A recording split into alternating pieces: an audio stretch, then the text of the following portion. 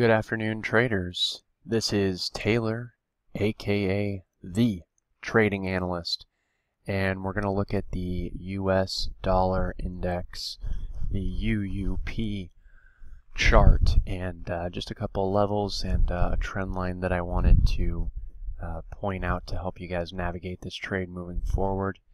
Uh, we've got some support in the 2475 range and we've got some resistance up in the 25-25 range.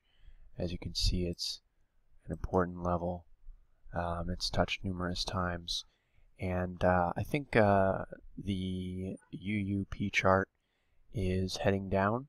I think a good entry for those uh, shorts would be up against this trend line or against this resistance right here.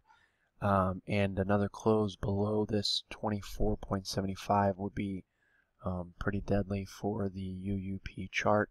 As you can see, is quite a volume pocket um, in this area below, which means there's not a lot of support um, to uh, hold up the UUP chart in this range below. So it could be a pretty drastic move down if this ends up breaking again. So uh, just look out for those levels to watch.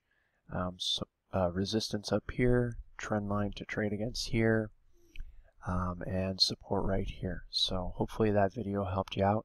Uh, join us in the free chat room tomorrow morning at www.thetradinganalyst.com. It's just a community of traders trying to help each other out and navigate the market. We'll see you in there tomorrow.